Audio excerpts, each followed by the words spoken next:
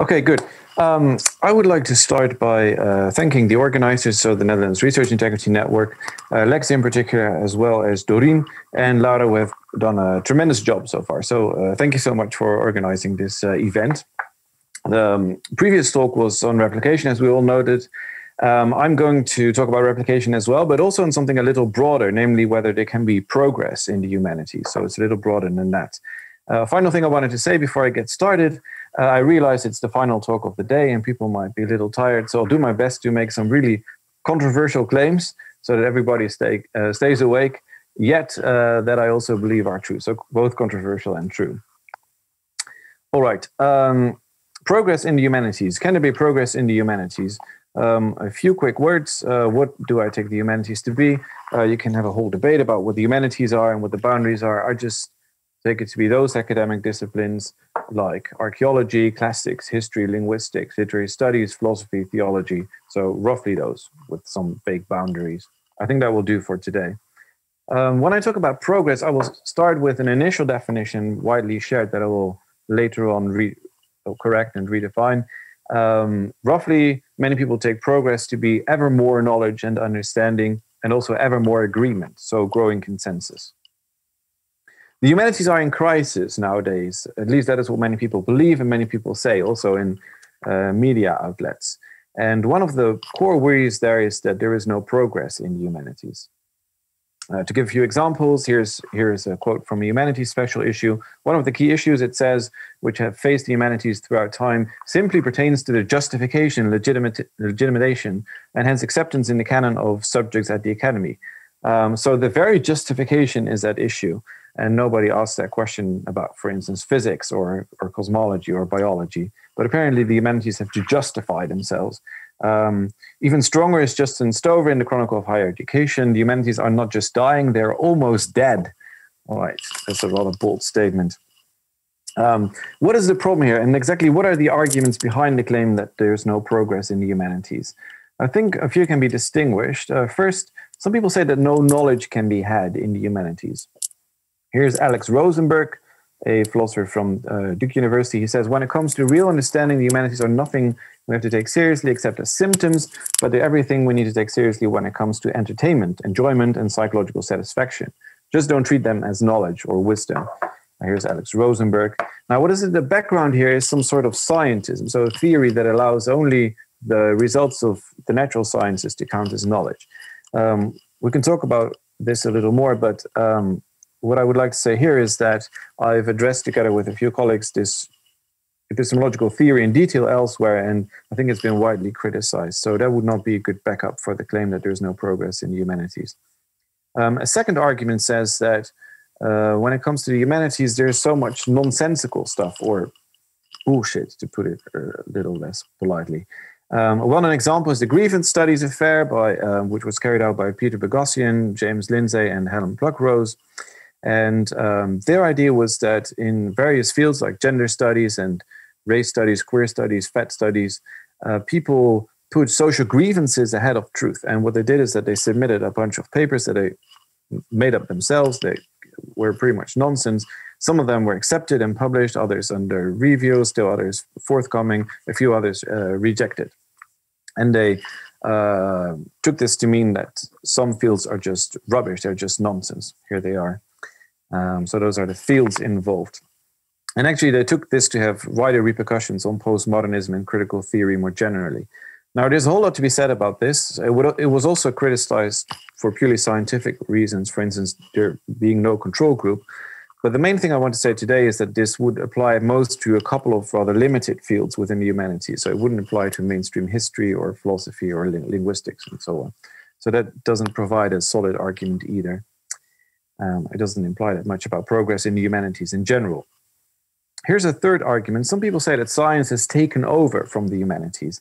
Here's uh, Stephen Hawking. He famously said about philosophy philosophy is dead, and scientists have become the bearers of the torch of discovery in our quest for knowledge.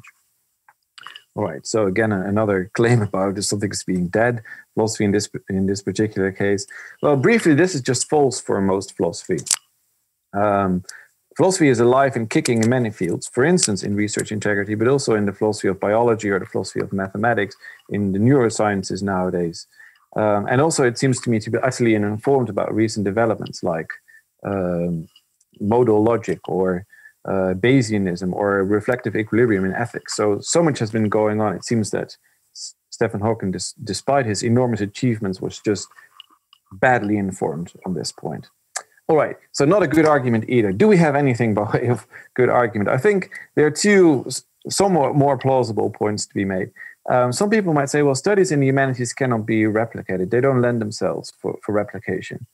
And another claim is that there's no growing consensus in the humanities. I mean, humanities have been going on for ages, and still there is so much disagreement in opposition to fields like physics, where people seem to somewhat converge in their opinions. So, what I will do in the remainder of this talk is explore these two uh, arguments.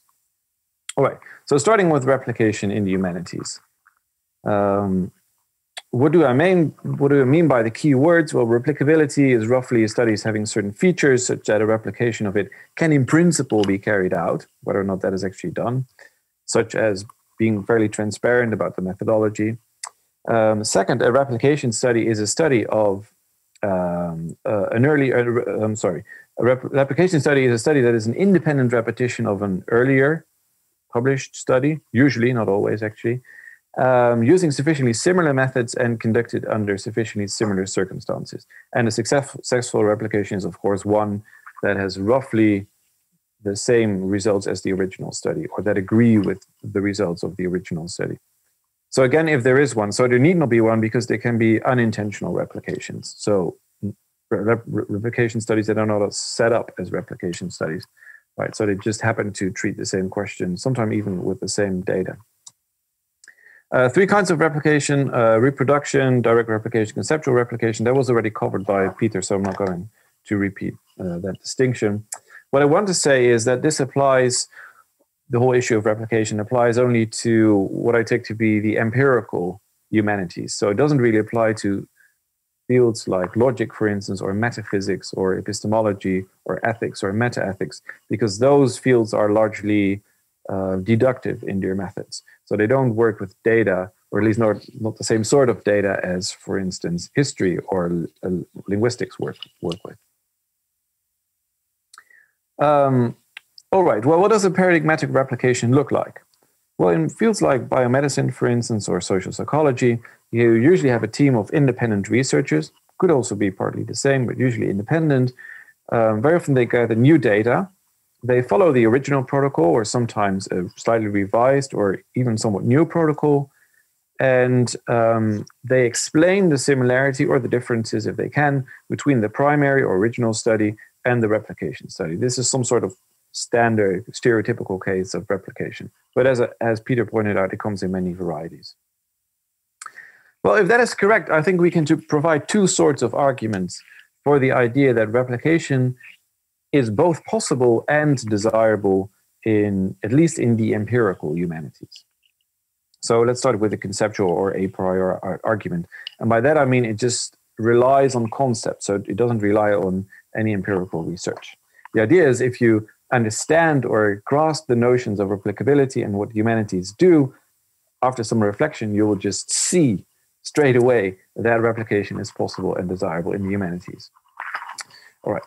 Um, how does it run? Well, first you can just carry out a study to test the results of an original study. So you can test a historical claim, for instance, that was made, or a linguistic claim.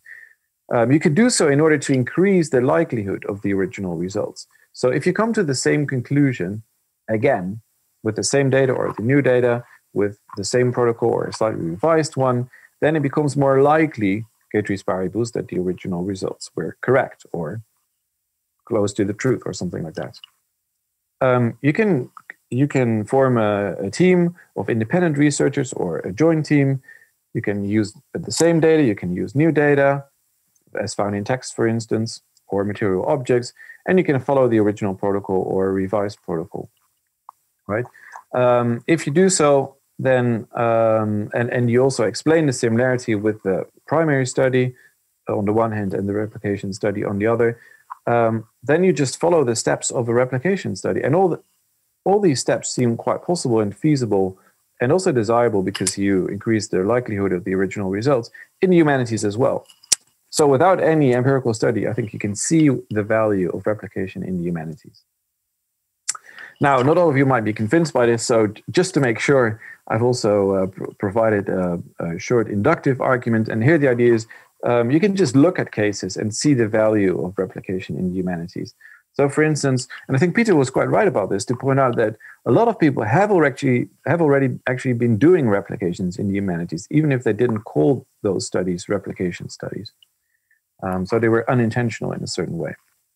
Um, Augustine was influenced by Gnosticism, yet he distanced himself from Gnosticism as well. This has been replicated time and time again by, by various scholars. Um, there are hieroglyphics on the Rosetta Stone, but there are also um, other languages on the Rosetta Stone, like ancient uh, Greek. And those two other languages were used to decipher um, hieroglyphs. And um, that has been done multiple times, leading to the same results. Here's the Rosetta Stone. Um, not too long ago, um, a Van Gogh was discovered, or it was thought to be a Van Gogh.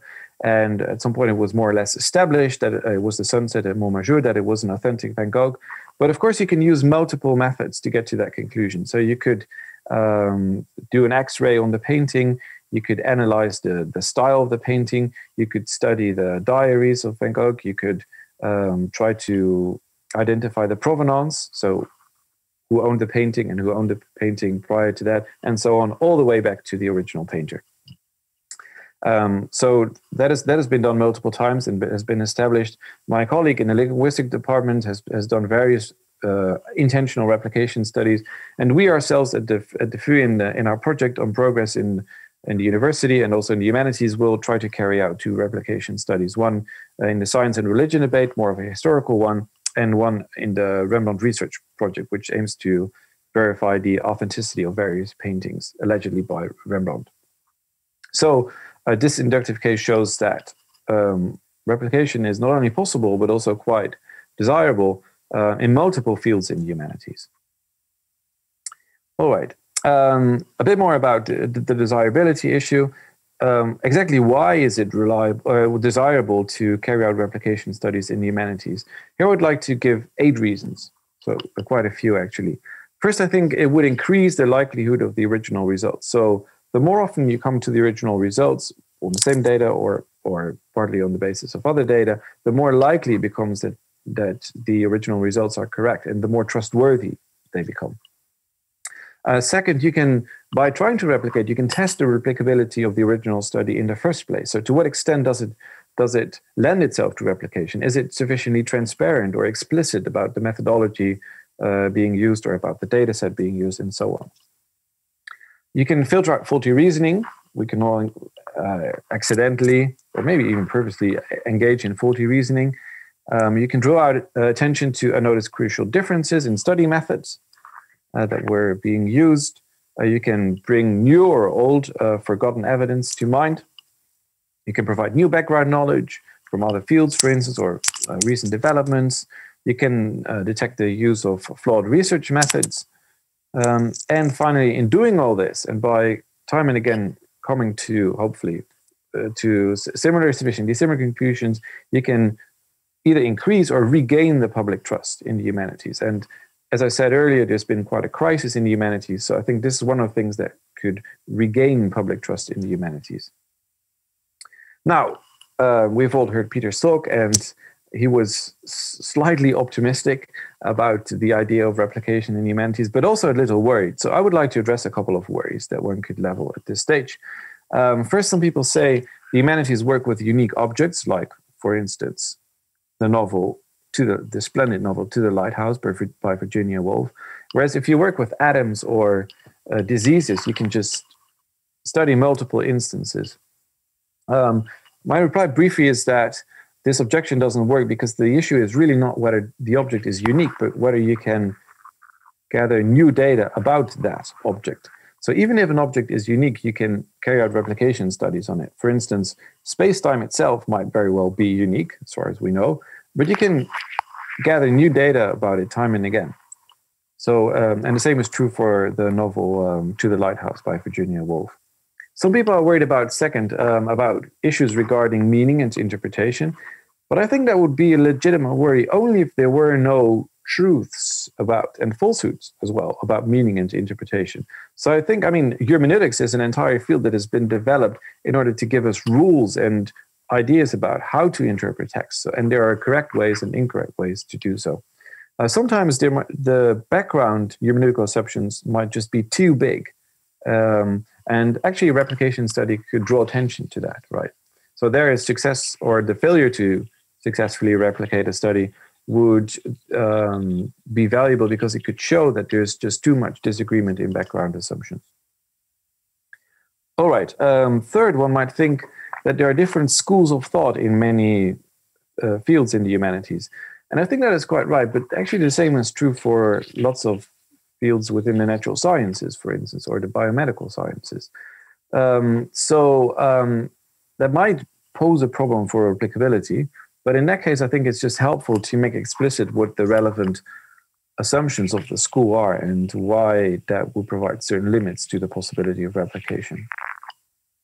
Um, some people are worried about the role of the scholar, the connoisseurship, and I agree that might be a worry. But I think one of the very so if you look, for instance, at the um, Rembrandt Research Project, there the idea was um, that people used to identify what is an authentic Rembrandt and what is not on the basis of intuition and connoisseurship. And one of the things that Rembrandt, uh, that uh, Ernst der Wetering tried to do in the Rembrandt Research Project was come up with somewhat more objective guidelines as how to establish whether something is a, is a true Rembrandt. And he's, he's been quite successful at that.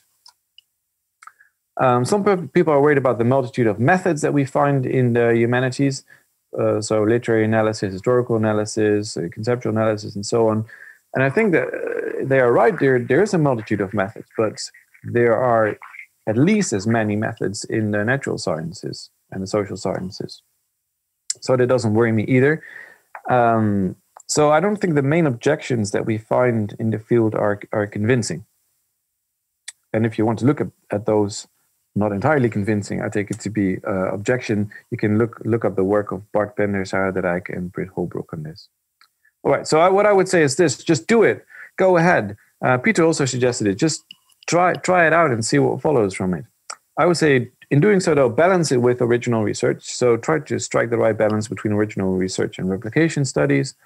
It's true we don't talk about a replication crisis in the humanities, but so what? Should we wait for a replication crisis in order to to start doing replication studies? I think there's value to them, um, uh, even if there is no talk about a replication crisis, and there's talk about a crisis in any case.